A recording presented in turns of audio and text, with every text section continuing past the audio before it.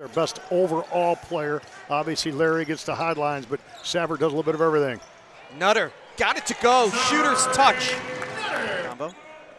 Now, you mentioned Thornton didn't play the other night. He has no restrictions today, but watch his wind as we see him go in the open court right here. Thornton off to Nutter who lays it in. Safford. The redshirt junior lost it. Here's Crump the other way with the flush. Anthony Crump with the steal and the dunk. With that special eyes that is a winning kind of attitude. Darweshi Hunter with a good look for three. That is good from Darweshi Hunter. Start out. Thornton, nice dish inside. Ibarguen, patient. Nutter, inside.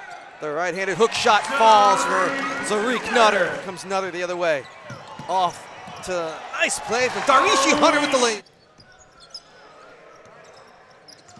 Caleb Thornton already with two assists. Inside, Crump got it to go. Counted in the foul. Anthony Crump with a chance at an N1. 10 to shoot. Crump with the spin, with the right hand, got it to go. Anthony Crump. Kamari Williams lost his shoe. We've seen that this year. And how about Crump able a finish with the foul and a chance at an N1 again. It's too strong. Thornton with the rebound. Oh, no looker to Hunter, who lays it in. Crump already with 11 points. Drives inside, give him 13 off the glass. Thornton with the hesitation. Thornton to the rim with the left hand off the glass. Nutter thought about it. Will take the three and knock down the three.